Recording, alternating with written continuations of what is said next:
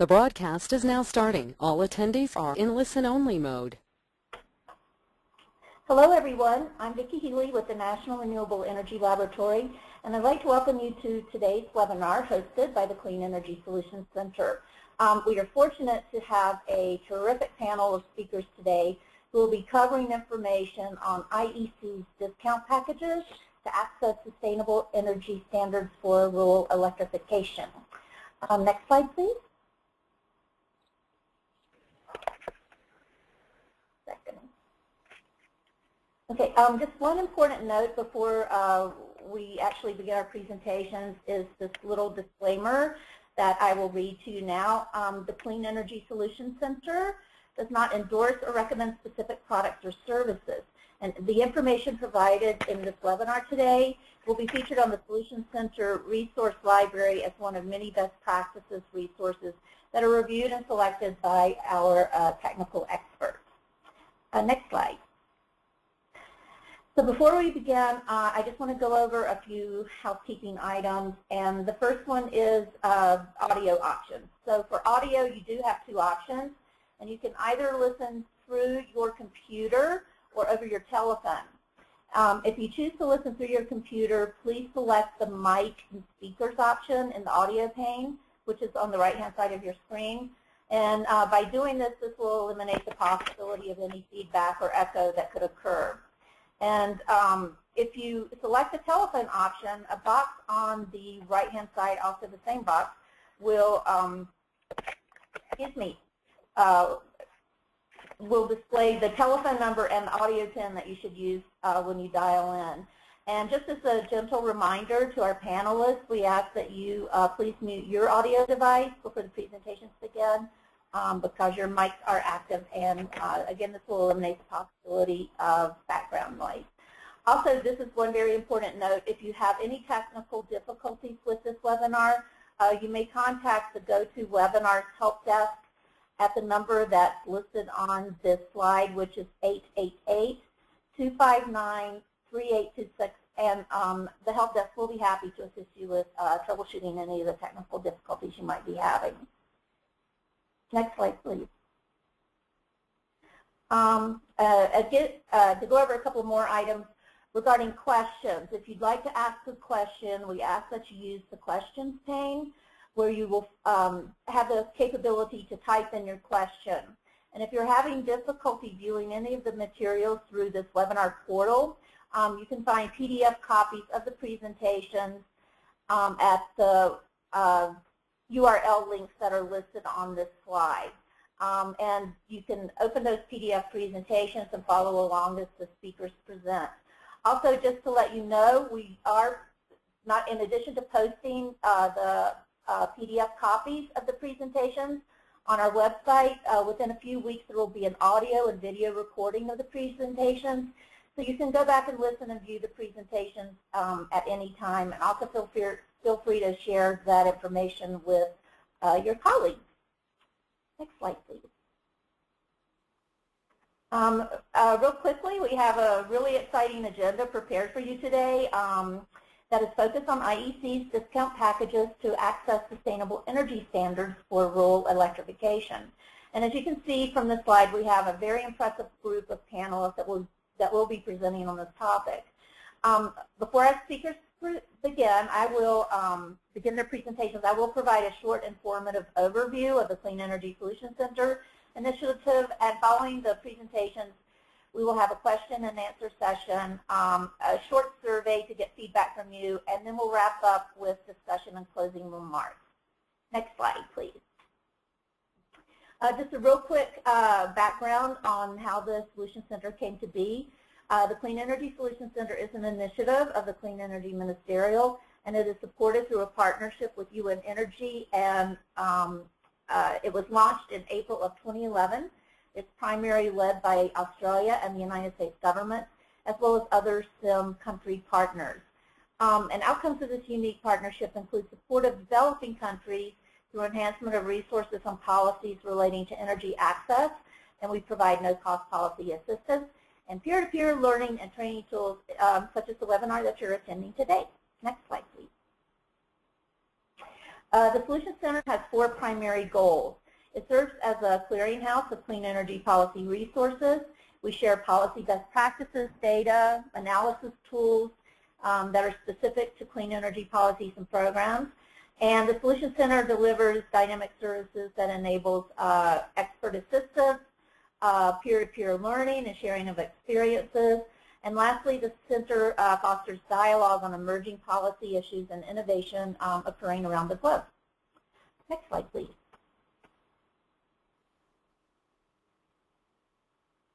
Uh, one, uh, real quickly, a marquee feature that the Solutions Center provides is expert policy assistance. And you'll see on this slide pictures of some of, we have more than 30 policy experts on our team, and this slide just shows a few of the pictures of some of our experts. Um, this is a very valuable service. It's offered through the Solution Center. Um, again, we've established a broad team of over 30 experts from around the globe and they are available to provide remote policy advice and assistance and analysis to all countries. And the key feature of this is this policy advice and assistance is provided at no cost. Um, and of course, we cover all the ranges of uh, clean energy topics, including energy access, efficiency, renewables, smart grids, microgrids, transportation, utilities, and regulations. And we encourage you to, um, if you have a, a, need for policy advice or assistance, to contact us. We'll be um, happy to match you up with an expert to help answer your questions. Next slide, please. Um, a, a, couple of ways of just how you can become involved. Again, going back to the uh, policy advice assistance, uh, you can request that. Um, and we can also tailor uh, resources and such as that for your country or region. Um, again, participating in webinars like you're doing right now. Um, we welcome your advice and recommendations on resources that we can share through our curated library of um, reports and data and analysis and tools. And we have a newsletter that we welcome you to sign up for. Next slide, please. Um, so today, uh, I will just quickly, briefly introduce our panelists. Um, first, we'll have Richenda Van Leeuwen, who's the Executive Director um, and Energy of Director of the Energy Access Initiative at UN Foundation. Next slide. We'll have uh, Francisco Boshell, who is an analyst at the International Renewable Energy Agency, also known as IRENA. Next slide, please. We have Francois Rauser, who's Executive Secretary in ILO at IEC Affiliate Country Program at the International Electrotechnical Commission. Next slide, please. Um, we also, uh, we're honored to have uh, Howard Barikmo, who's Emeritus Secretary at IEC's Technical Committee 82 um, on solar photovoltaic energy systems. Next slide, we have Arne Jacobson, Director of Schatz Energy Research Center. And last but certainly not least, we have Guylaine Fournier, who is uh, Head of Sales and Business Development at the Electrotechnical Commission. Um, and with that, I would like to turn over the webinar to Richenda if she is on the line. for some opening remarks.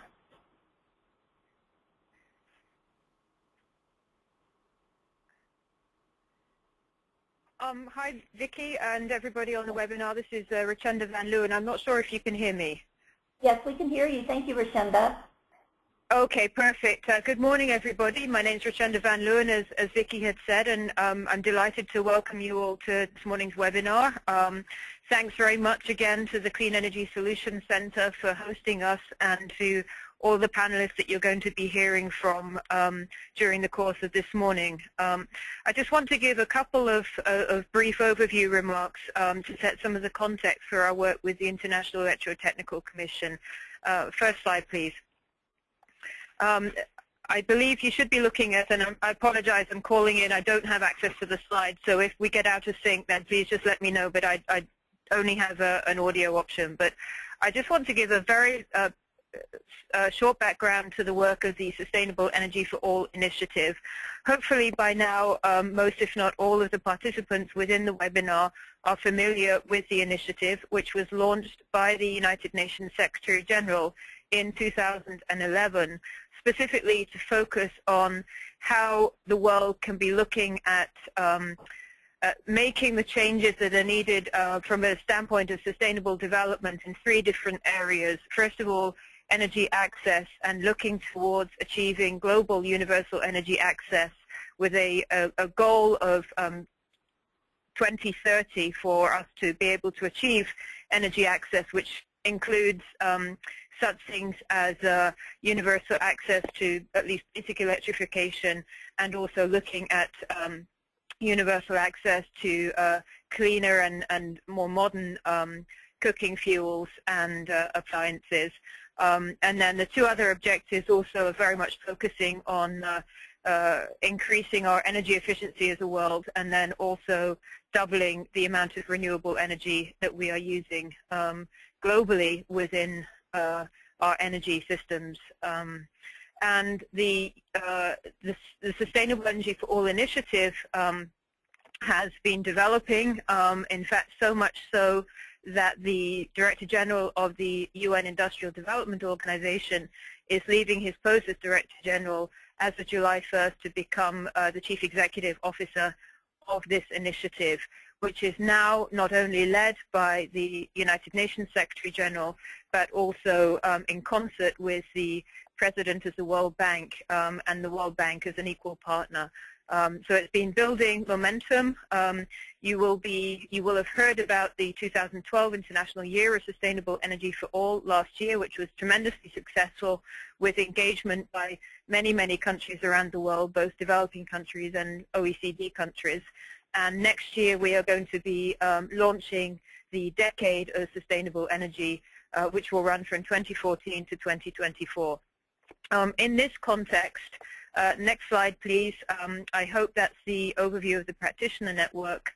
Um, the United Nations Foundation established uh, an energy access practitioner network in 2011 as part of our contribution towards the work of sustainable energy for all.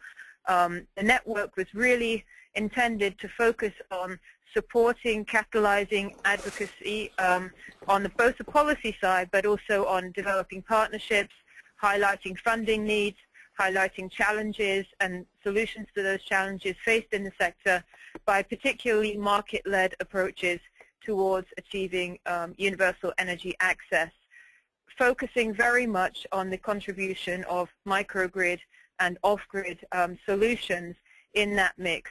Um, certainly, we're looking very much at grid extension to be continuing as well, um, but the reason and, and, the rationale behind our uh, establishing it this way was uh, recognizing, in fact, that there was not a unified global voice um, for the off-grid and the microgrid sector, and at the same time, um, there was a very strong emphasis on the contribution that can be made um, through both microgrids and off-grid solutions um, as part of the answer in the overall landscape of achieving energy access.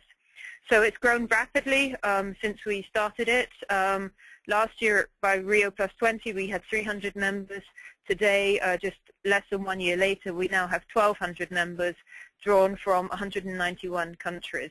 Um, so it's been tremendously um, uh, successful in terms of mobilizing the community, and we are very much looking uh, for continued growth, but also advocacy around some of the changes that are needed um, in order to help mobilize the work that you are all undertaking. And today's uh, webinar in part is, um, is, is uh, a representation of some of the work that has been quietly ongoing behind the scenes through a range of partnerships. In particular, I want to thank the International Electrotechnical Commission, um, and they will tell you a little bit about what they have been doing um, in support of sustainable energy for all, but specifically understanding uh, the needs of practitioners um, and particularly within that some of the smaller companies, um, the, the SMEs that are delivering these solutions and some of the constraints that they've been facing.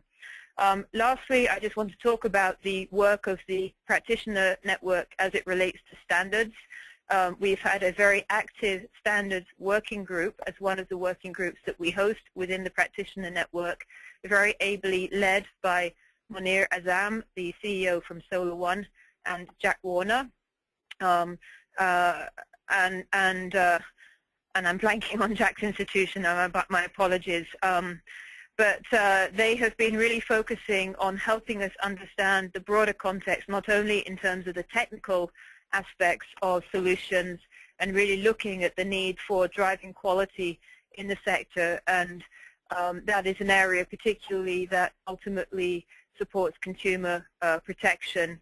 Um, and when we're working particularly on the energy access issues with very low income communities um, my maxim personally is you know if you if you can only pay once for it then we'd better be delivering a good product or service to that consumer to that customer um, because they can't afford to purchase it twice.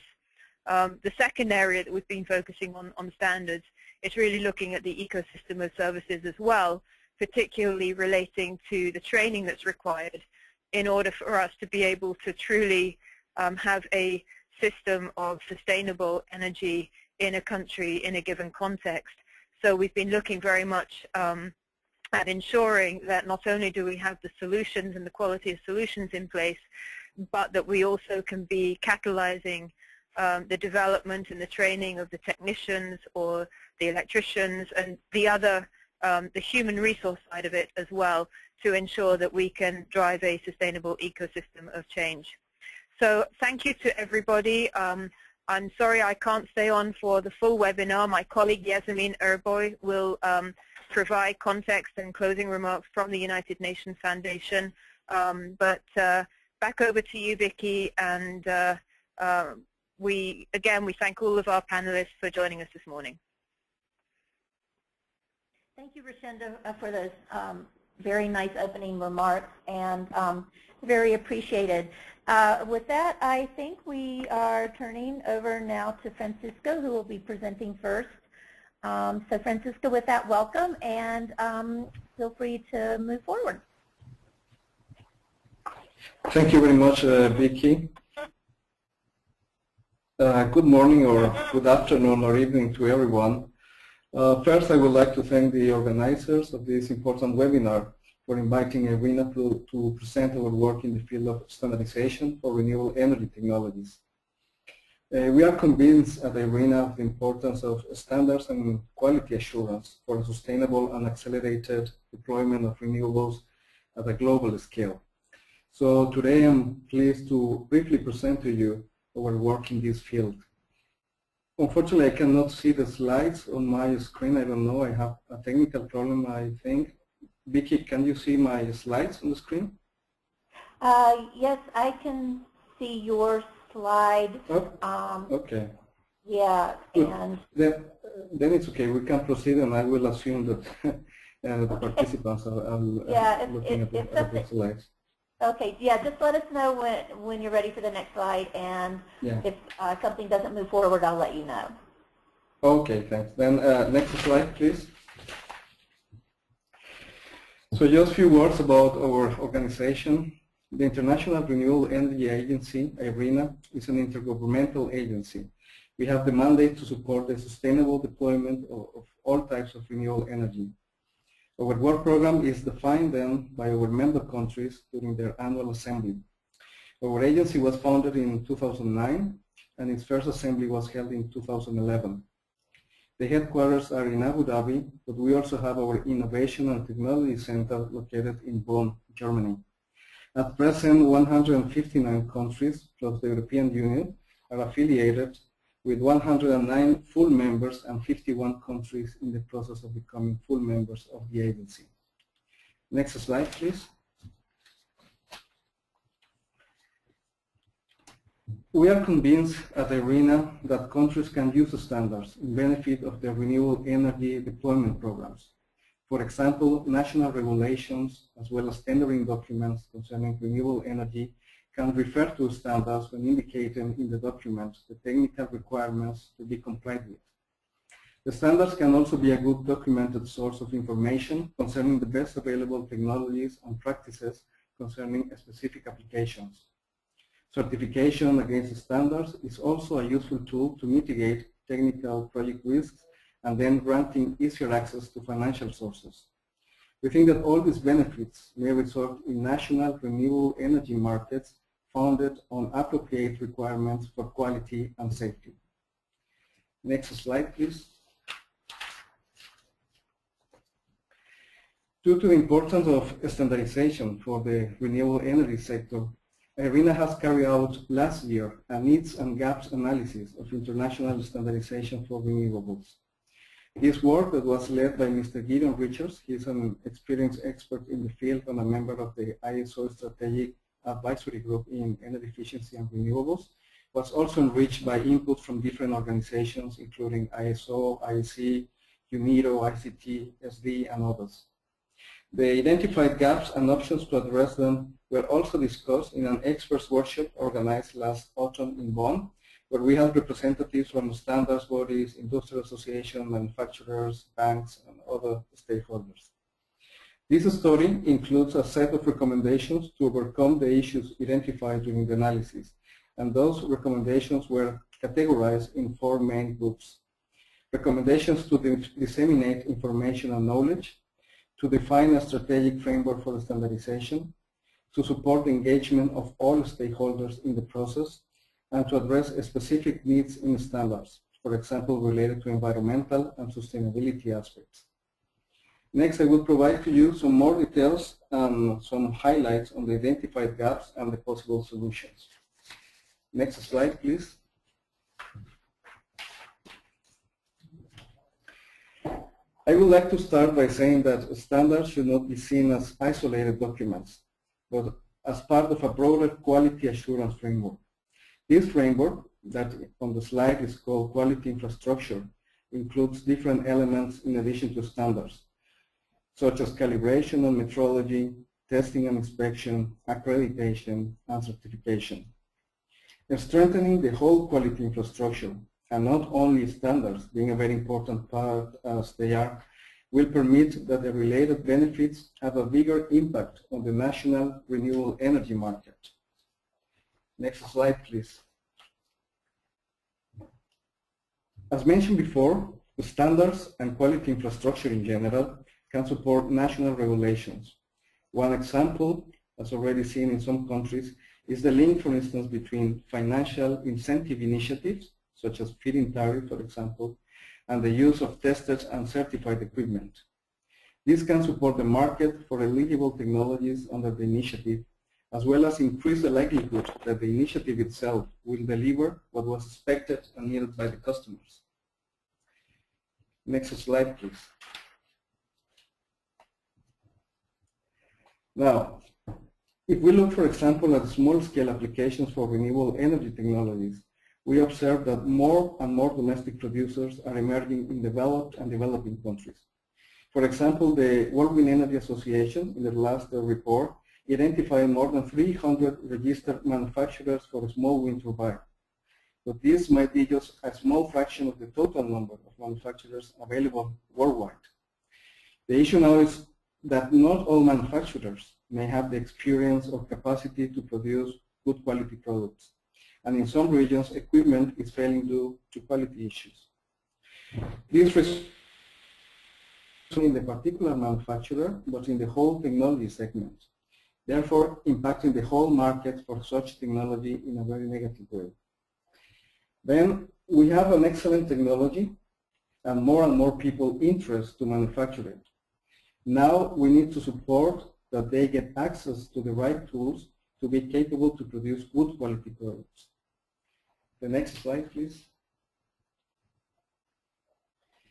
However, it is also true that the cost related to testing and certifying their products might be too high for these producers of uh, small-scale technologies.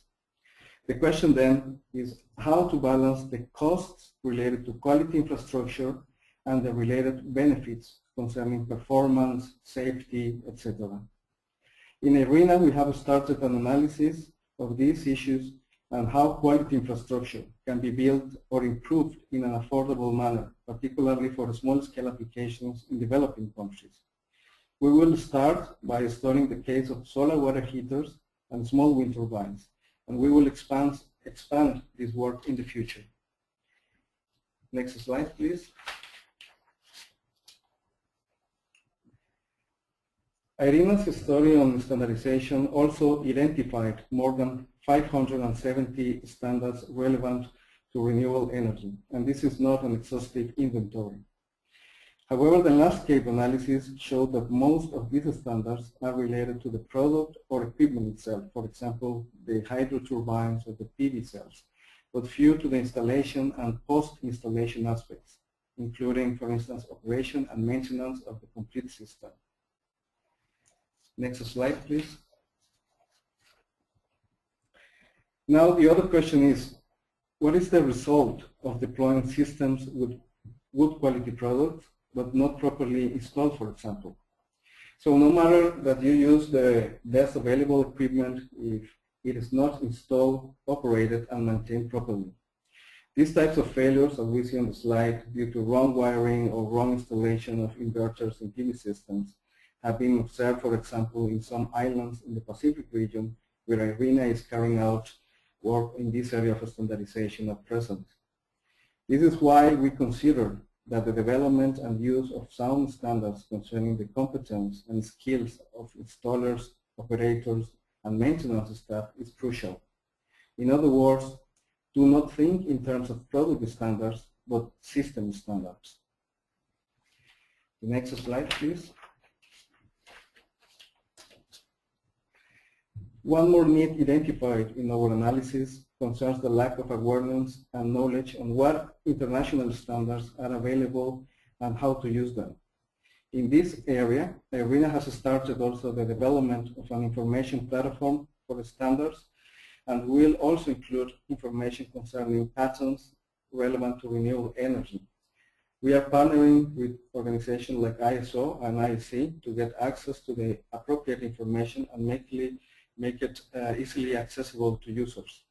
The aim is to optimize the access to information, promote the benefits of quality infrastructure and standards, and facilitate the cooperation between standards users and standards makers, as well as between countries. Next slide, please. Finally, a very important issue is also the involvement of all relevant stakeholders in the international standardization process, including policymakers, industry, manufacturers, and users. But also from a geographical perspective, developed and developing countries should be actively involved to ensure that respective needs and issues are addressed in international standards. For this, it's very important in the case of developing countries that they make use of existing mechanisms to participate, such as the IEC Affiliate Country Program that will be presented in detail during this webinar by our IEC friends, and also the ISO Developing Countries Committee, DEVCO. Also, other mechanisms can be explored for experts from underrepresented regions to participate in the process, as uh, virtual meetings or forums where users from these regions can discuss particular needs with members of the technical committees developing the standards. And last, but definitely not least, is to make the standards affordable to users in these regions, via, for instance, discounted prices and additional funding support. In our study, in fact, we used the case of the IEC 62257 series for uh, rural electrification as an example of the cost of standards and the impact that it may have in a rural community. Today, we are glad to see the initiative from IEC and the UN Foundation to provide precisely this series of standards at a discount price. We certainly commend such type of initiatives and we hope that more similar ones will follow in the near future. Next slide, please. Well, with this, I conclude my presentation. My contact details are on the screen. Please feel free to contact me if you are interested in any of the mentioned uh, or other activities in IRENA. In this slide, you can also find a link to download our report for free. Um, I would like to thank you all for your kind attention. Thank you very much. Uh, should I introduce the next speaker, Vicky? Uh, that's fine, or I can go ahead and do that uh, for you, Francisco, but thank you for I- that I great. Okay, go, feel free, go ahead. Okay, thanks. So yeah, because now it's also my pleasure to introduce uh, a good friend and colleague, uh, Mrs. Francoise uh, Rauser. She is the Executive Secretary of the IEC Affiliate Country Program at the International Electrotechnical Commission. And now I know that she is working very strongly devoted to really get uh, developing countries involved in the process. So it's a pleasure for me to introduce Francois. And yeah, dear Francois, the floor is yours. Thank you, Francisco, and uh, hello to everybody. So I will be happy to give you a short presentation of the IEC and uh, our program for developing countries. And I'm really happy that IEC is on board today with all of you for this uh, webinar. Next slide, please. I won't go into detail, but just to remind you where we work, we work on the international level together with other organizations such as ISO or ITU. And we work on the national level, that's where our members are, and at the IEC they are called national committees. But of course we have interaction with uh, regional uh, bodies who, which have uh, signed some cooperation agreement with us. So in Africa, in America, especially Latin America, and Europe and the Europe uh, Asian countries. Next, please. Well, the IEC is a rather old lady because we are over uh, 100 years old. And uh, our mission is to promote the cooperation on the international level for all questions of standardization and conformity assessment. And of course, we prepare international standards and technical specification. Next slide.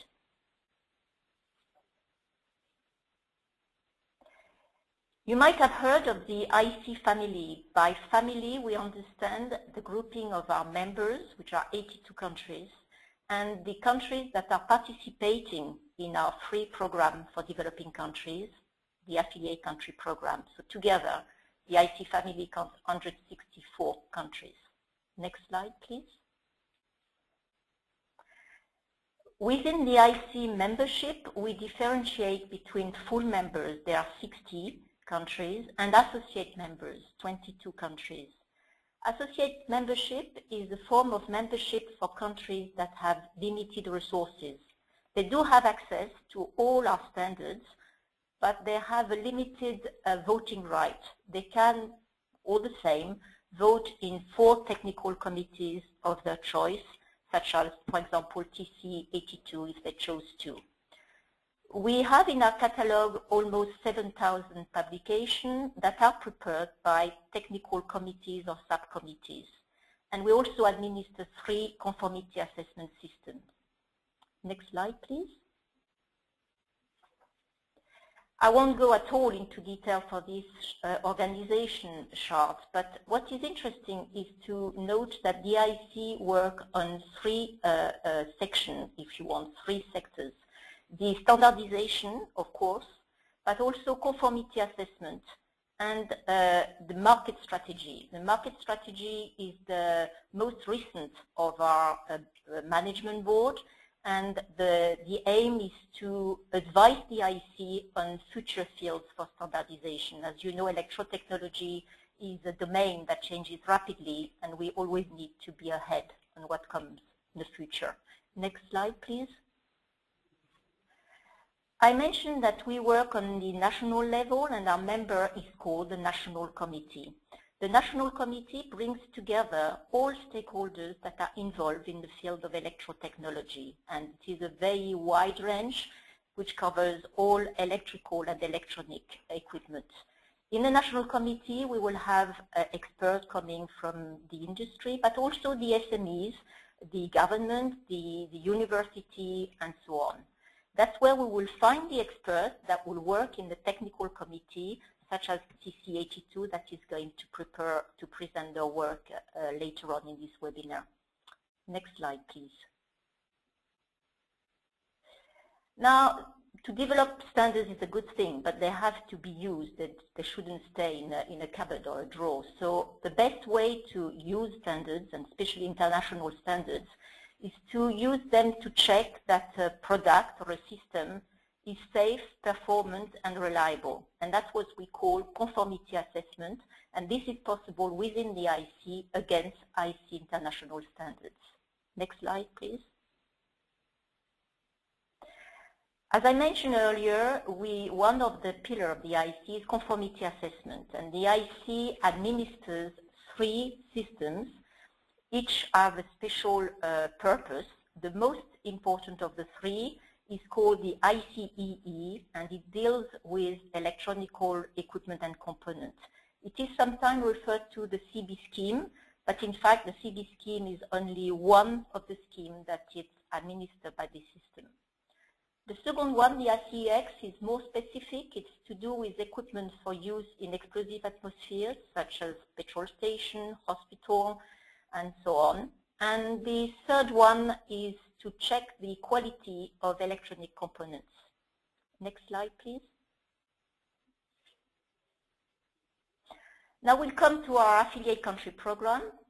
Uh, we have 82 countries, developing countries in this program. But uh, as you can notice on this slide, some countries are marked in red, and there are countries that have been actually invited to join this program, and they've not yet responded. Uh, we are at the moment waiting for confirmation from St. Kitts and Nevis that should join the program in the next few weeks. Next slide, please. So the affiliate country program was launched in 2001 and that was in the response from a call from the WTO to encourage the participation of developing countries in international standardization. This program is free of charge and it is not, of course, a kind of membership. Therefore, our affiliates are not considered our members and they have no voting rights. But they have, uh, they enjoy a few benefits. One of them is to have access to 200 standards that they can choose in our catalog of almost 7,000 standards. They can choose for national use. We also help our affiliates to establish a national electrotechnical committee so that they benefit from the same structure as our members, which will allow them to use the program to its full extent because the second aspect of the program is to encourage developing countries to have an active part in the development of international standards, which is exactly what the WTO is uh, looking for. They can select 10 technical fields, technical committees, and they will be given some login to download the document and give their comment. Next slide, please.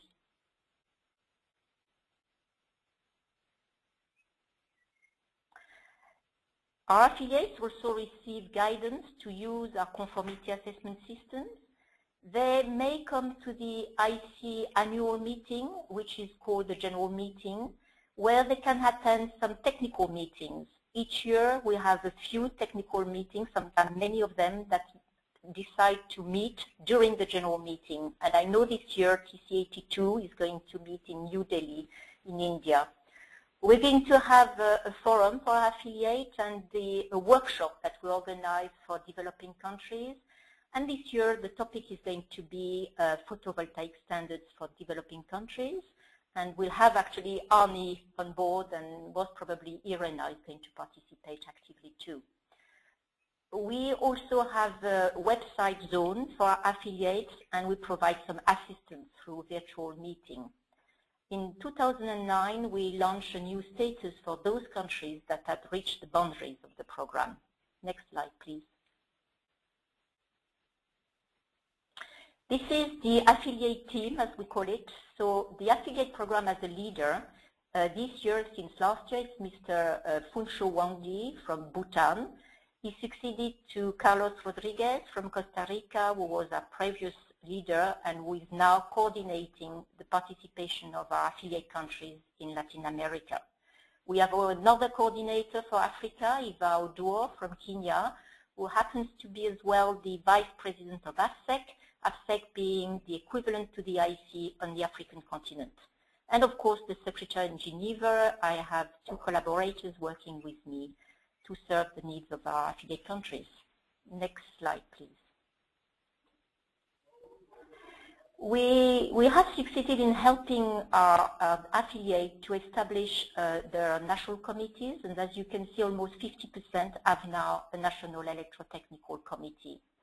They will be meeting during the forum, uh, during the general meeting.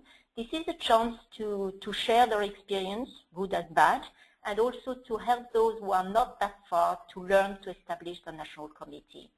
We try to visit the national committees when we are uh, attending a regional event, and that will be the case this year for a couple of countries such as Bhutan, Cambodia, Democratic Republic of Congo, Ecuador, and Peru. Ten of them have upgraded to IC members. Next slide, please. Although this is not the objective of the program to push the countries to join the IC, they can stay in the program as long as they need to. We, uh, we it's a sort of springboard for those who want more from the IC. And as you can see, 10 countries, you have the list, have now joined the IC as members. Next slide, please.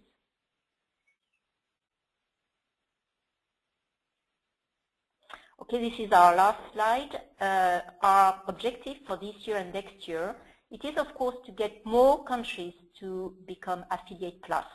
Uh, to be an affiliate plus country, the country has to have adopted at least 50 uh, IEC standards as national standards and to have established a national committee. And that will give them access to 400 standards free of charge for adoption instead of 200 and we'll give them priority in our mentoring program. This mentoring program is going to be activated in July this year, so very near now, as well as we're going to launch a new status in conformity assessment for our affiliate countries. We are happy to be a partner now for the UN uh, Sustainable Energy for All initiative, and we are going to work more and more with the regional bodies. This year we've had specific collaboration with uh, AFSEC, COPANT, TASC, and the EASC we are hoping to reach out to the Pacific Islands and hoping very much that the partnership with the uh, Sustainable Energy for All will help us do that. There are a few small islands which are not yet benefiting from the program and they could, they could very easily do as it's free of charge. We're also trying to uh, encourage West African countries more active and we're doing that through virtual training and uh, I'm going also to visit the uh, DRC in August back-to-back -back with the AFSEC uh, general uh, meeting. Next slide and last one.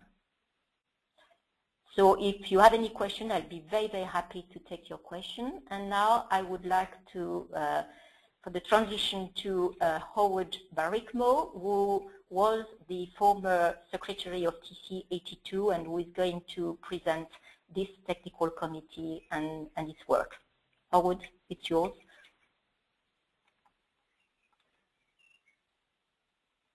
Thank you, Francois. I must admit uh, I'm having technical problems, but I'll try to at least uh, alleviate that. I, I am listening also to the local National Public Radio station here in Phoenix, and there's no way I can get rid of it. So hopefully it's not being fed through to you all. At any rate, my name is Howard Barikmo. I was most recently the secretary of TC82 and if we can go to the next slide, we can see what uh, it's all about. Oops.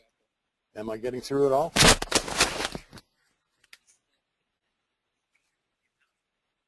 Uh, there, okay, uh, TC82 has been charged by the IEC to write all the standards relating to photovoltaics for them. And we do this in six working groups. Working group one is glossary, two modules, three systems, working group six, balance of systems, and then uh, working group seven and concentrators. But the big one that we're going to be talking about today is joint working group one that has as its charter uh, technical specifications for decentralized rural electrification projects. Next slide.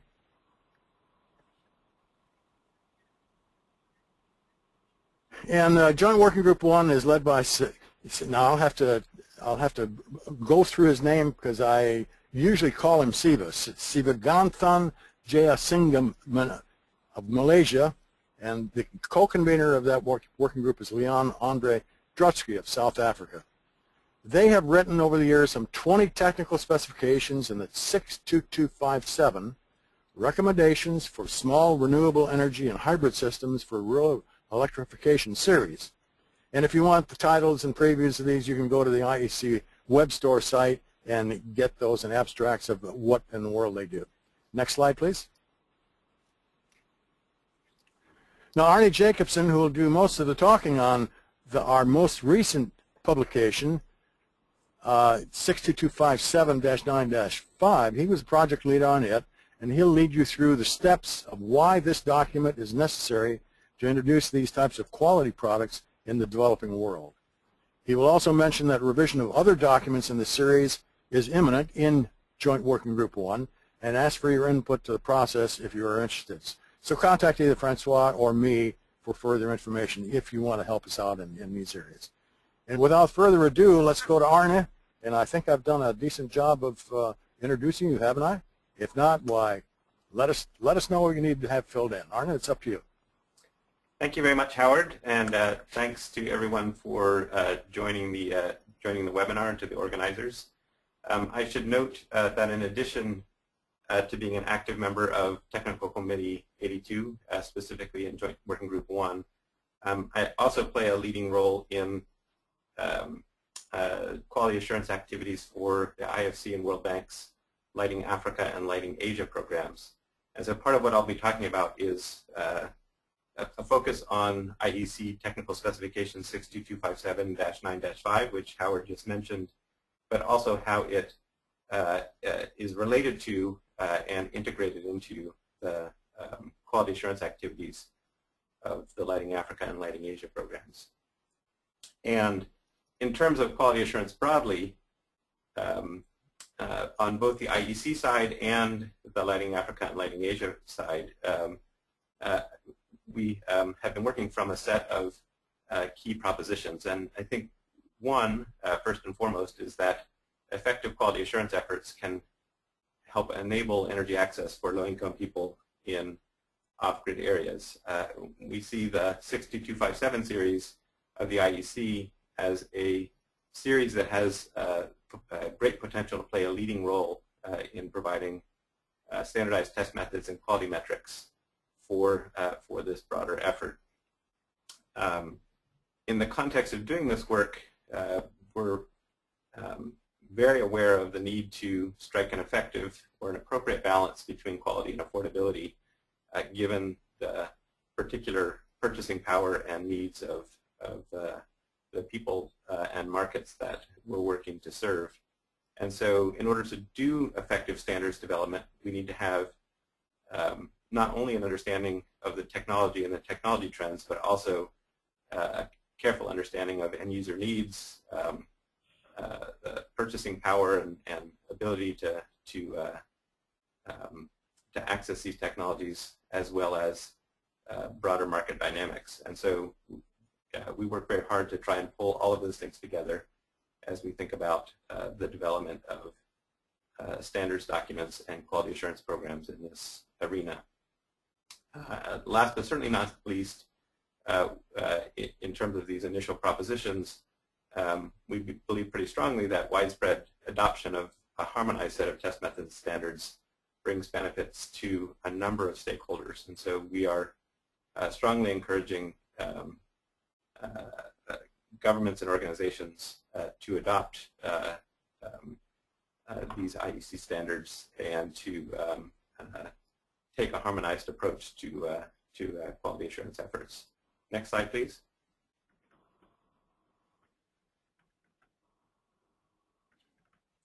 So focusing initially on uh, the uh, uh, IEC 62257-9-5 document, this is a document that is intended to provide a quality framework for off-grid lighting systems. And this is a document that was published um, as a uh, um, the most recent uh, uh, revised edition, which is the second edition of this document, was published um, last month, April of 2013, after moving through um, the IEC's rigorous um,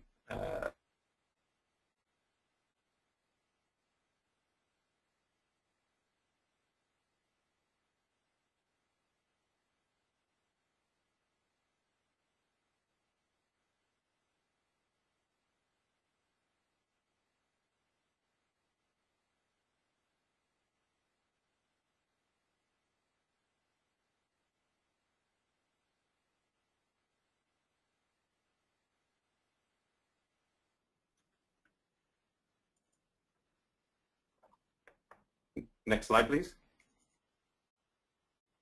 It's on the way. Sorry for the delay, Arne. No problem. System delay. Okay.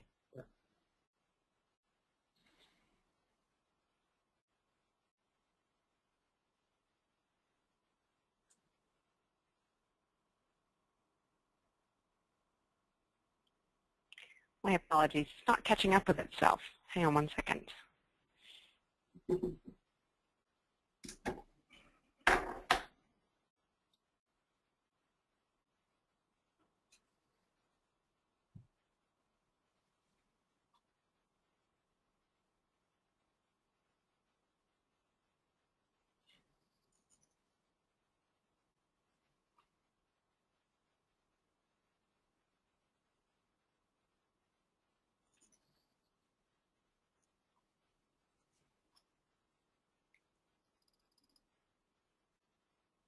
To have frozen. Sorry about this, Arne. Sorry about the technical difficulties, everyone. Uh, no problem. I could um, Okay. If continue you could on. keep speaking, yes, why don't you go Yeah. ahead and I'll- I'll hope that it catches up with itself. Thank you. Okay. Um,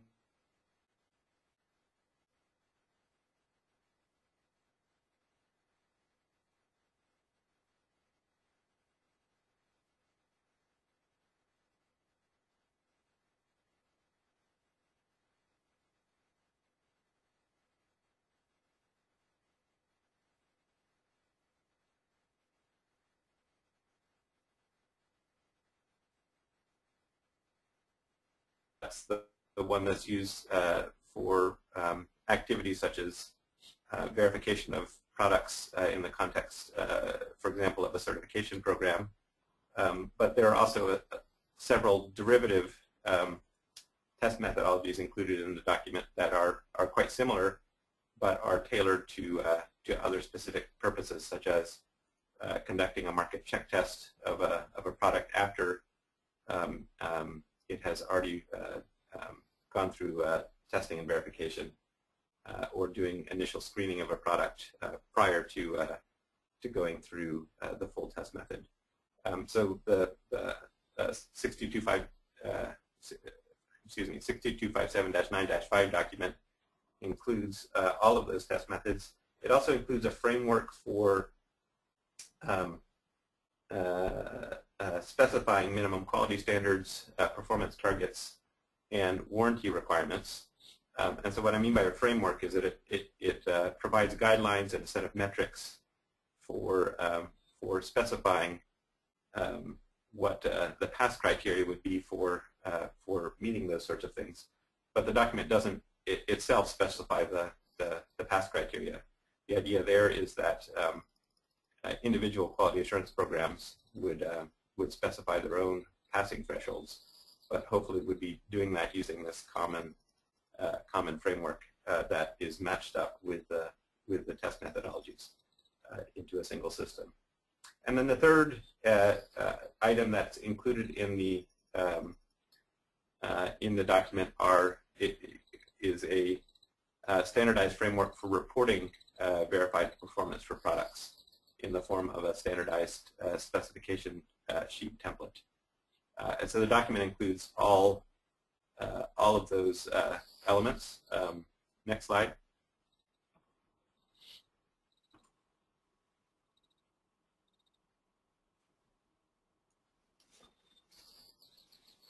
Um,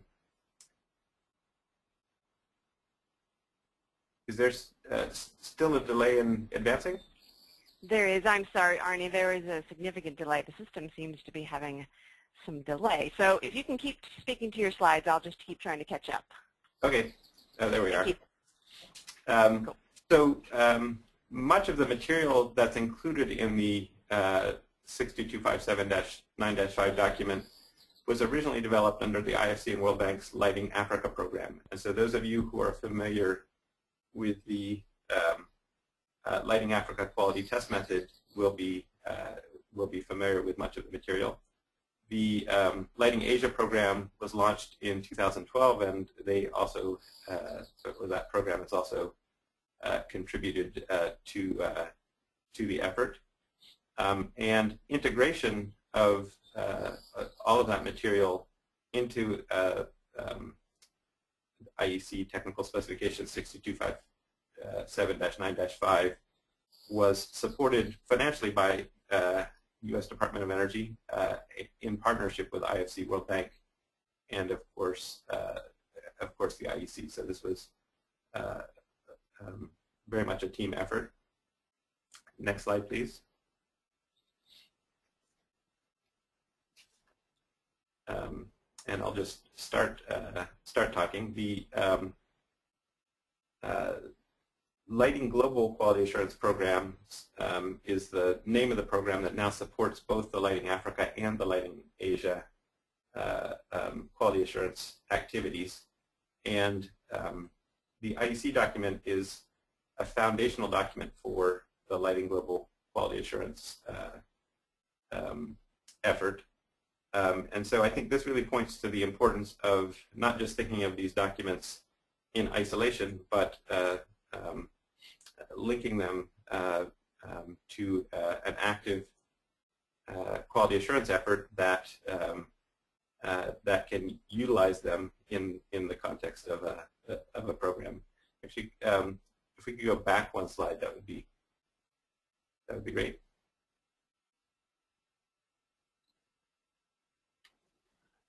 Oh, okay. No, actually, go forward. I think that they're not quite in the same order that I had thought that they were in. Um, so uh, the development of the Lighting Global Quality Assurance Framework has been um, a, a, collaborative one with a number of stakeholders, many of which are are shown here. And as I mentioned, the Lighting Global program uh, supports both the Lighting Africa and the uh, Lighting Asia uh, initiatives. Um, uh, in the context of developing the um, uh, technical specification 62257-9-5, a number of these organizations, uh, as well as others not shown here, provided key input in a in a stakeholder process, and uh, um, a number of private sector companies um, uh, participated in that uh, as well. Over 15 companies provided uh, comments, and um, as we move forward, both in revising the 6257-9-5 document and also working on other documents within the IEC series, uh, we encourage uh, similar levels uh, and actually even greater levels of participation from, uh, from key stakeholders. Next slide.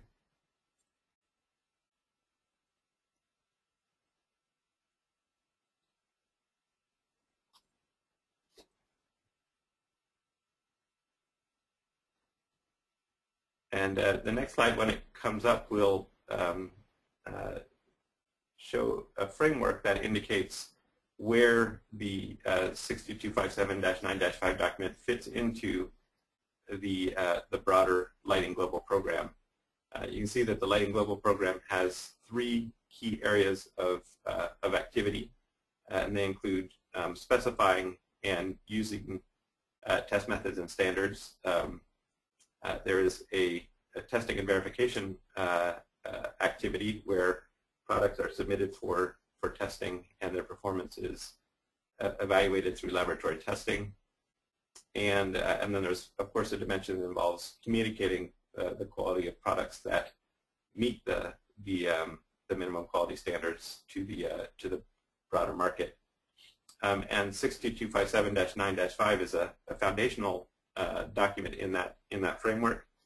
Um, and um, uh, so of course it defines the test methods and quality met metrics that are used in the program uh, and all of the uh, other activities are um, uh, related to that or draw from, from those um, original test methods and, and, and that framework. Next slide.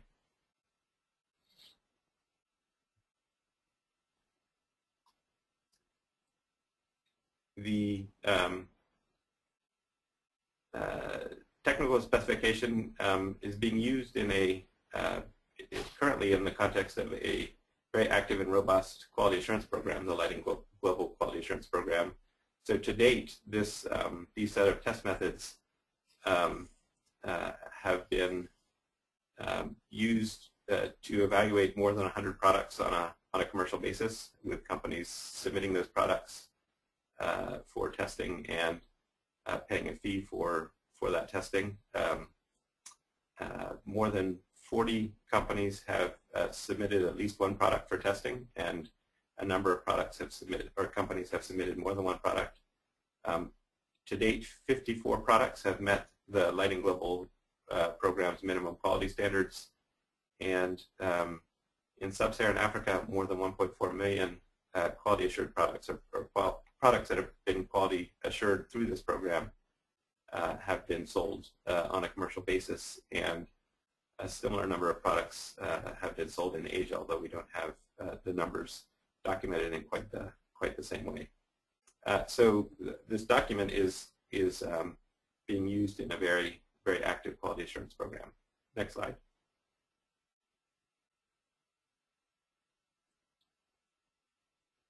Um, so one of our uh, key goals going forward is to um, encourage widespread adoption of, uh, of this quality assurance framework. Uh, we um, feel pretty strongly that having a common uh, quality assurance framework uh, um, across multiple markets will have a number of, uh, of benefits.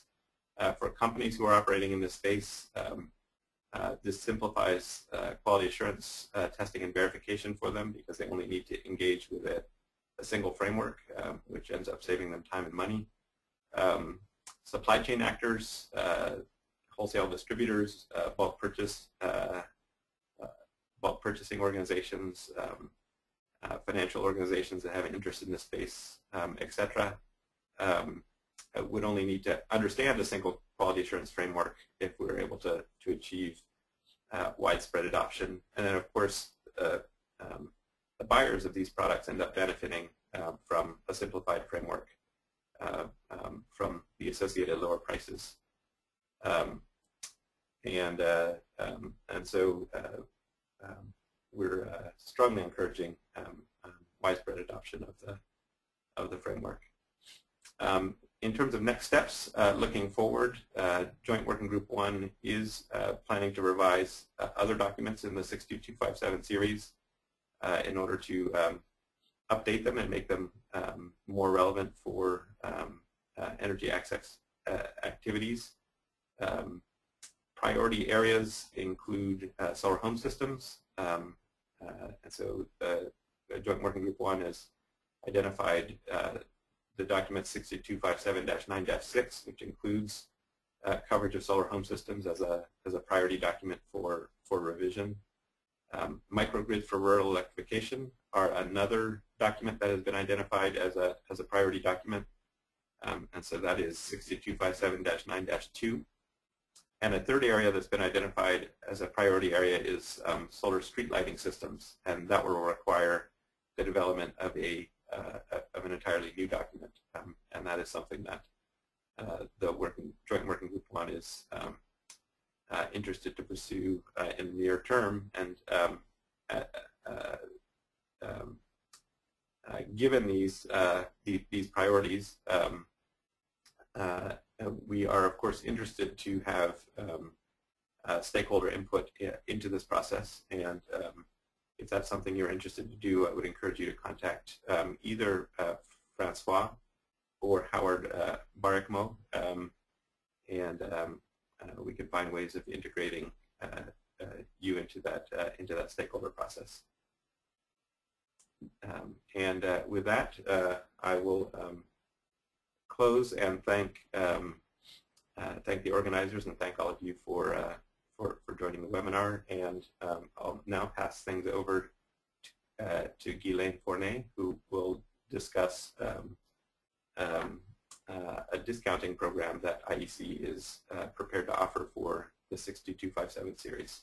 So uh, thank you very much, and um, I'll, I'll, pass it over to you, Guylaine. Thank you, Arne. Um, well, depending where you are, good morning, good afternoon, or good evening. Um, now that you know more about the IEC, about uh, TC82, and about IEC 62257, you may now be wondering how to get uh, those publications or this publication in particular. Well, the IEC is glad to be able to offer reduced price not only on this uh, specific publications, but publication, but also other parts of the 62257 series. Um, as you've seen, the IEC standards uh, facilitate access to sustainable energy. They also help developing countries to comply with the WTO TBT agreement. So now let's have a look at the uh, technical specification uh, IEC 62257, part 9, section 5. Um, edition 2.0 has been uh, published um, earlier last month, uh, the 3rd of uh, April to be precise. And if you are already an expert in uh, standards, you may have noticed that the title compared to the previous edition has changed. Now it's recommendations for small renewable energy and hybrid systems for rural electrification Part 9-5, integrated system selection of standalone lightning kits for rural electrification. As um, quite often our titles are very long, as you may notice. Um, so let's have a look at the different options. So let's uh, have the next slide, please. Depending on your needs, uh, you may want just the 62257 uh, 9-5. And um, in that case, um, it's just one publication. Either it's up to you uh, in paper or PDF electronic format. You have the choice. Um, each publication has a list of uh, normative references. Uh, next bullet, please. So for this uh, publication, we have 12 other publications that are referenced in uh, 62257 part 9 uh, section 5. They are almost appearing. Um, so that gives us a total of 13 uh, publications. Either for the publication on its own or for the publication with the normative references, we are very happy, uh, next bullet please, we are very happy to be able to offer a 58% discount, uh, which uh, translates, talking about uh, Swiss francs, because being based in uh, Switzerland, our prices are in Swiss francs, so I will uh, let you convert in your local currency. Um, so instead of 340 Swiss francs, the publication on its own would be 143 Swiss francs. If you choose to have the publication and the normative references, so I repeat, 13 publications, in that case it would be 1,078 Swiss francs instead of 2,567. So that's what we offer as an option one with a 1A and 1B, as you notice. For option 2, here it's a huge, huge package. Why is it huge? Well, because you would get the full series of a 62257, not only all the different parts, 17, but also all the normative references, which equals a total of 136 publications. Next bullet, please. So for this um, huge package where you get everything and even more, uh, again, we would be very happy to offer you a 58% discount. And in Swiss francs, I know it's a lot of money, but I repeat, 136 publications so the price would be 9,982 Swiss francs instead of 23,766. So that's for option two, the, the full package, as we may call it. But we also have a third option. Um, it's what we call pick and choose. So basically, any publication in the series Uh, next bullet, please. Of course, um, if you want the uh, Part 9, Section 5, I recommend that you refer to option 1. But any other uh, publication in the series with or without the normative references, again, it's up to you, depending on your needs. In that case, next bullet, please. We have a suspense here. Apologies, yes, it's um, No, it's up on okay. It's, it's a dramatic effect. yes, Um, there you go. There it's there. Thank you. So for the total flexibility, pick and choose in that case because it's a customized offer that we, we would uh, uh, process the order according to, do, to your needs. In that case, the discount would be 50%. So that's what um, we can offer and you may uh, wonder if um, there are any conditions. Uh, next slide, please. So yes, uh, the only conditions, it's very simple. We ask you to be from one of the uh, SE for all country and belong to the IEC family. Um, so I'll let you refer to uh, my colleague's presentation to, to see if um, you, you fit um, the criteria. So uh, thank you, and uh, now uh, back over to you, Vicky. Great. Thank you, everyone, for uh, these great, pre great presentations. And uh, just to remind the audience, uh, this is now our time for questions and answers, um, and our panelists are very happy to address any questions that you have on the materials that they presented.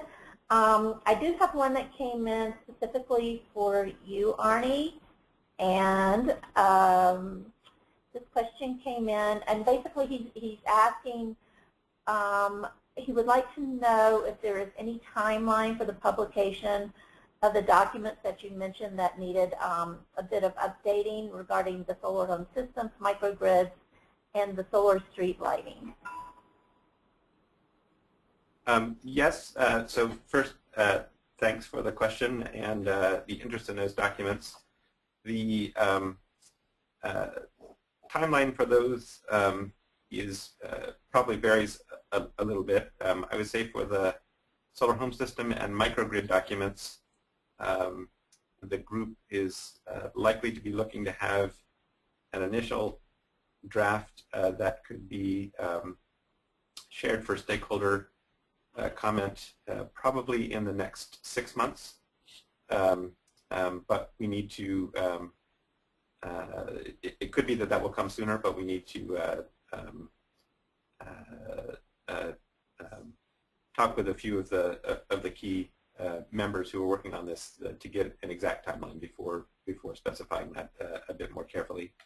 On the um, street lighting document, um, because it's a new publication, um, the process could take a, a little bit longer for uh, for drafting. Um, it's possible that that also could be available in the next six months, but uh, it could take a, a, little bit longer than that.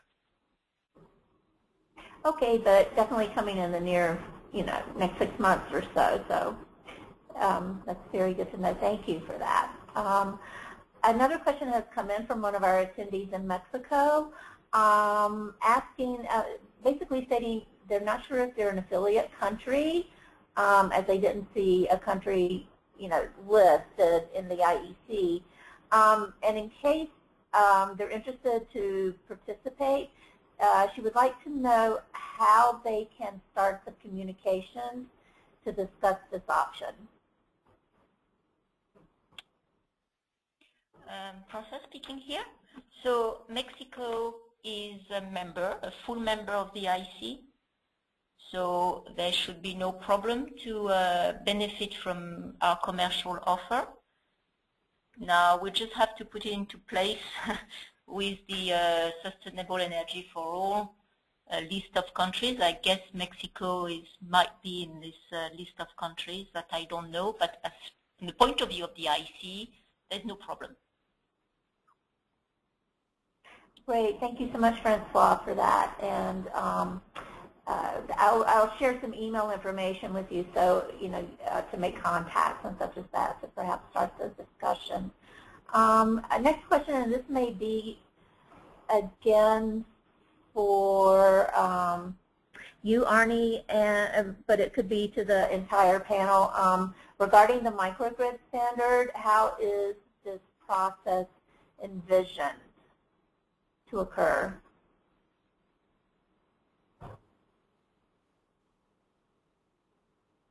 Um, so the, the, um, the microgrid document is, of course, one that is uh, ha has already been published uh, in an uh, in an initial um, edition, um, and so what I would first uh, do is encourage um, people who are interested to to um, uh, review the the um, the current version of the document, which is 62257-9-2, and uh, the joint working group has um, identified a set of um, uh, countries uh, or, or um, representatives from countries within the working group to uh, form a subcommittee to um, uh, um, uh, review a set of, of possible revisions and to discuss that within the group. If there are people who are interested to provide comment um, or suggestions for um, uh, possible revisions of that document,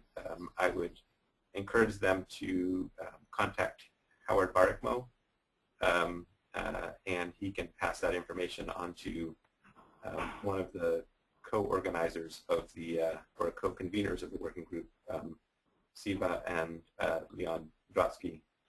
Um, and uh, uh, I think having the contact information for the people who are interested to play a role would, would help us to incorporate them into the process most effectively. Okay, great. Thank you um, for that great answer. Um, let's see. Next question is regarding uh, lighting global standards. Um, and the question is, what might be the fundamental differences between the lighting global standards and standard CB certifications and or CE certifications for lighting projects? And uh, this question was posed by Joseph of Trade Without Borders. So uh, I, I, can um, address that as well. The um, Lighting Global uh, Quality Assurance Framework, of course, um, focuses on um, uh, minimum quality and durability uh, for products, and it uses the IEC uh, 62257-9-5 test methods to make that evaluation um, uh, programs like CE, uh, I think, focus primarily on um, safety questions rather than on uh, um, this, the types of quality assurance metrics that are the focus of, of something like uh, the, the Lighting Global Quality Assurance Framework and the IEC 62257-9-5 document. Okay, great. Thanks, Arne. Um, next question that has come in. Um, is, uh, is there a list of 54 products meeting the minimum criteria available? Um, is this a question that translates over to you?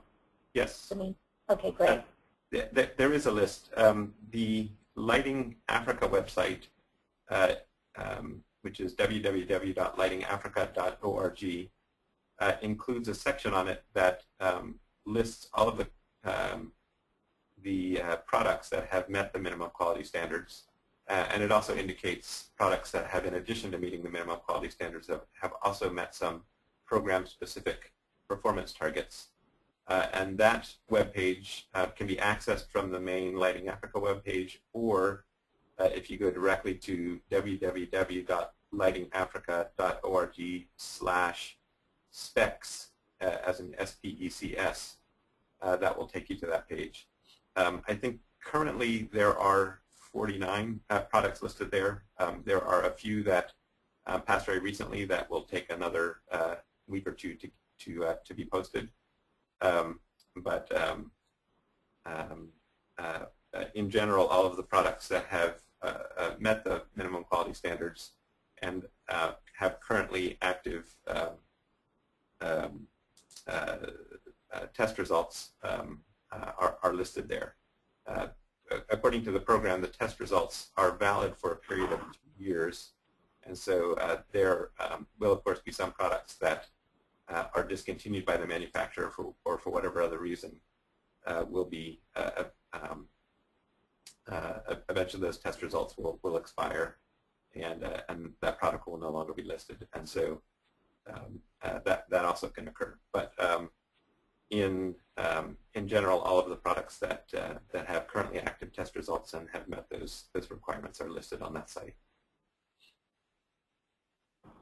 Great, thank you so much. Um, let's see, next question. Can you comment on any in-country standards that compete with the IEC standards? Do you know of any such situations?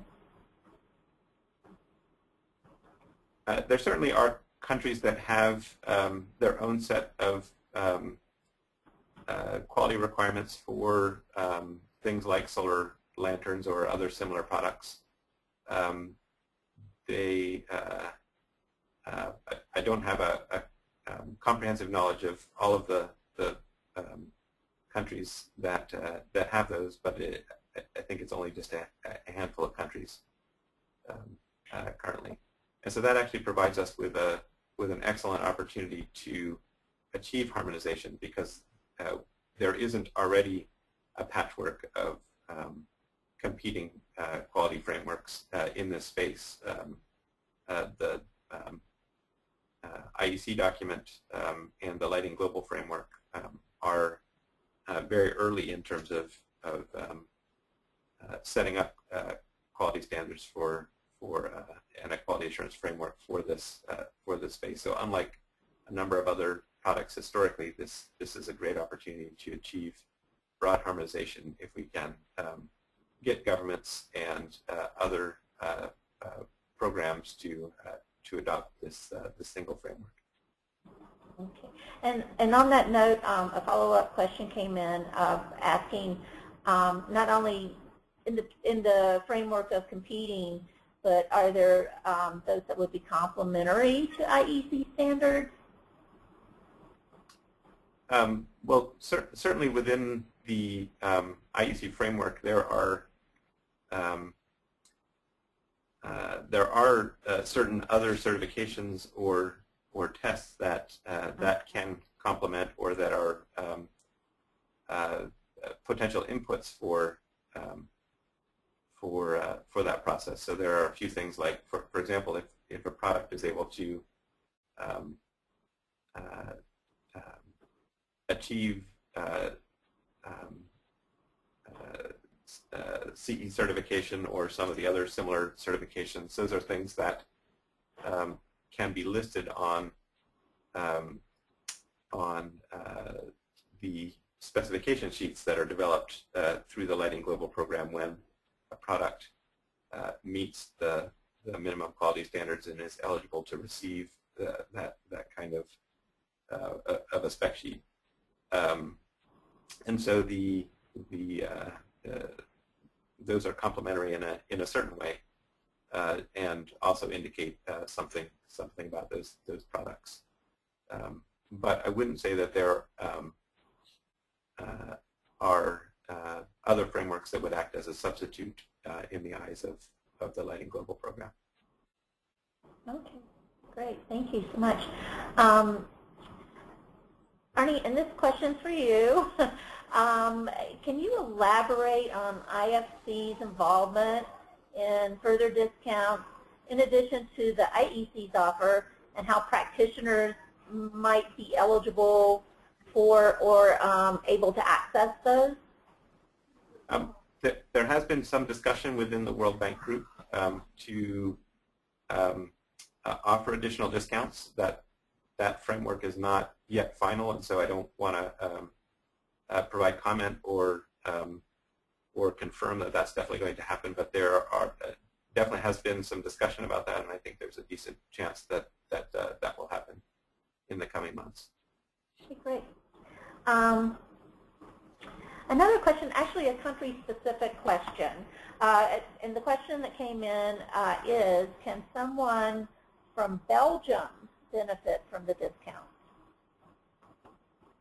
Um, I, I, I think um, my understanding of the, the discounts as they're set up, and, and Ghislaine can comment on this as well, my understanding is that uh, um, as long as the country is uh, affiliated with SE for All and um, and is an IEC is part of the IEC family, then then it's eligible to receive the, the that discount.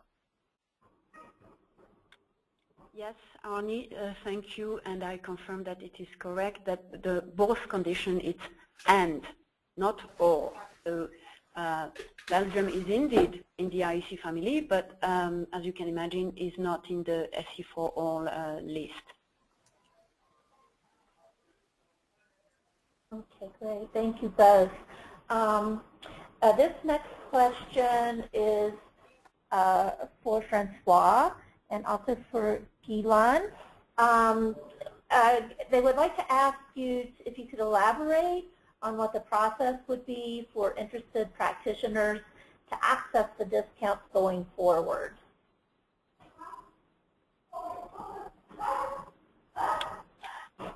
So um, ideally, we, we would like uh, to know as soon as possible if there will be an additional discount that uh, we could uh, beneficiate to to the people interested in this uh, uh, series of publications. Um, so if um, we move forward uh, without any additional discount from the World Bank or any other organization to benefit for the, the, the offer that has just been presented, um, in that case, um, the order would be a process uh, if you want, manually by my team, and uh, the um, uh, the person interested uh, would simply have to, to contact by, us by email, and, uh, that, like this we, we can double check if the, the, the two conditions are, are met and uh, move forward. And of course, the SE for all would, would be copied to to to stay in the loop. Mm -hmm. Francois speaking. I, I, just wanted to, to add in that what we really need is to have an updated uh, list of the countries that are involved in the Sustainable uh, Energy for All project. And as soon as we have that at the IEC, then it will be quite easy for my colleagues to check if the person is entitled to receive these discounts. Okay, great. Um, thank you both very much. Um, I just want to let you know we've had several other questions come in, but looking at the clock, I see our time is, um, you know, nearing the end of the scheduled time for the webinar. So I think I have time for one more question. But uh, I'd like to let everyone know who uh, did ask questions that we did not have enough time to answer. I will forward your questions to our panelists um, so that they can respond to you directly. Um, and, um, you know, again, apologies that we don't have enough time on the webinar to answer everyone's questions, but we will see that they are answered subsequent to, you know, the end of the webinar. So thank you all who have submitted these questions, and again, um, we'll be responding to those um, subsequent to the webinar. Um, so with that I did I, I, did promise one more question out of this. So, um, and the last and final question is: Can all of the discussed IEC standards be tested and certified by standard labs all over the globe, such as uh, ITS and TUV um, and others?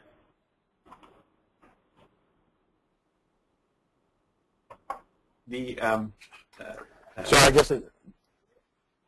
Go ahead. Yeah, I was going to say maybe that question is directed to me. This is Howard. Uh, I can't guarantee that every test lab throughout the world will do that, but uh, TUV will. They have done it for all the other IEC documents that we have written, and there are a number of other laboratories throughout the world that will do it. But uh, so there, there are plenty that that are capable of doing it. I suspect that there will be others too that will be doing it just so that they can also get in this uh, this game uh, of providing lighting devices for developing countries. Arne, over to you.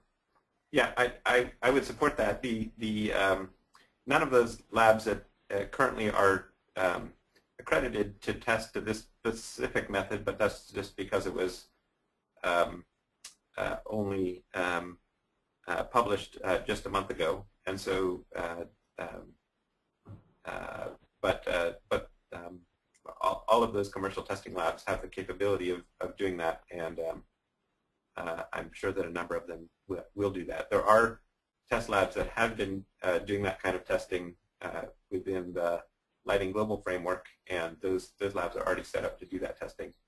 Um, but I would expect uh, additional commercial labs to uh, to um, uh, uh move towards uh, being accredited to do that kind of testing going forward uh, in the very near future. Great. Thank you again, everyone, for um, your very thoughtful and thorough responses, um, and, and to the audience for your great questions. we really appreciate um, not only your attendance, but your interest in this uh, really great topic. And so with that, I think we'll turn it over now um, to do our little quick survey.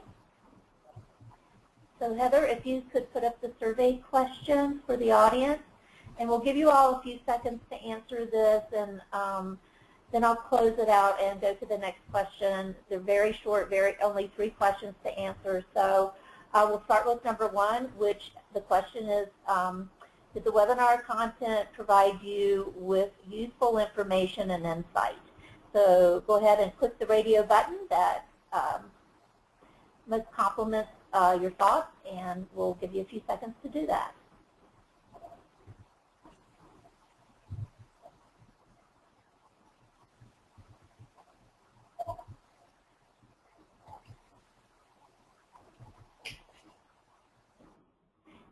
this function working, Heather? I can't see on my end. Yes, it is. Yes, okay, it is. So we'll close that and move to the next. Okay, thank you. Um, second question for our uh, participants. Uh, the webinar presenters were effective. And again, you have the uh, five multiple choice um, options to answer.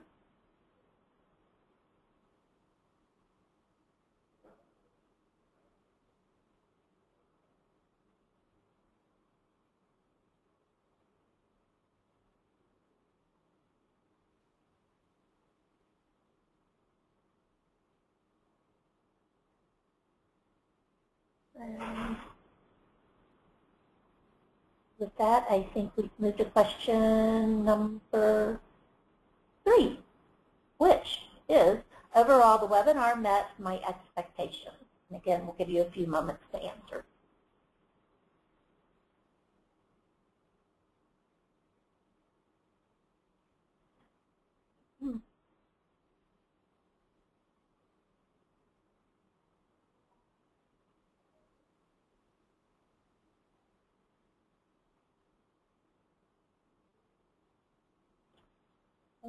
Great. Thank you, everyone. We, we really do appreciate your feedback. It's very important to us. It helps us know what we're doing right and areas where we can improve. Um, so we thank you for your responses.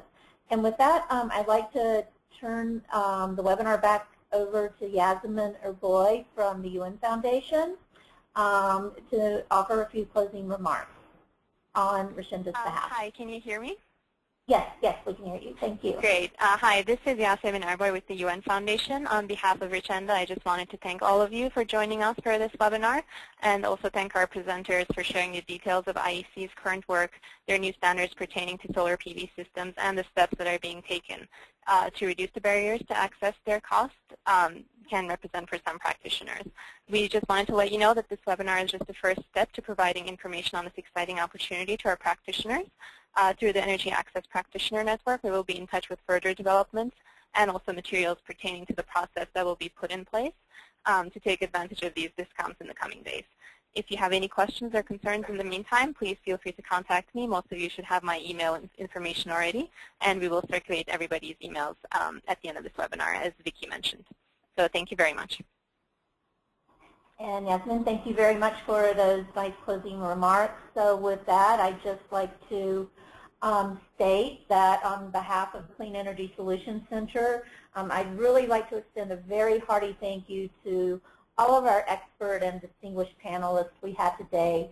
You did a, a terrific job of informing the audience on, on these standards and um, opportunities.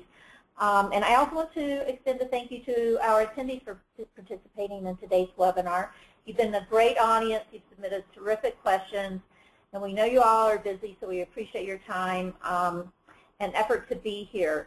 Um, I also invite our attendees to check the Solutions Center website, you know, over the next few weeks if you would like to, again, view the slides and listen to a recording of today's presentation. Again, I have the URL link up on the slide um, uh, for you to um, access these presentations. Um, and also you can go to our uh, main training page and, and view previously held webinars. You'll find many topics of interest, I'm sure, that um, you might like to uh, take a little time to look at. Um, let's see, we additionally, we have information on upcoming webinars and other training events. And uh, we really also invite you to inform your colleagues and those in your networks about the Solution Center resources and services in, including the no policy, the no cost policy support that we provide um, to policymakers around the world. So with that, I wish um, you all a great rest of your day, and we hope to see you again at future Clean Energy Solutions Center events. And with that, uh, this concludes our webinar. Thank you.